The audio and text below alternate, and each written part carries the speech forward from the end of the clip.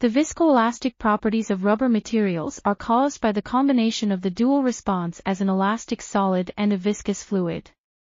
This behavior yields in time-dependent mechanical properties, including stress relaxation, creep, energy dissipation, hysteresis, and strain rate. Three different carbon black reinforced natural rubber compounds were experimentally evaluated under stress relaxation and various constitutive models were fitted to evaluate their viscoelastic parameters. It was found that both the elastic and viscous parameters increased in a nonlinear relationship with strain and carbon black content, and the viscous parameters were dependent on the configuration of the model.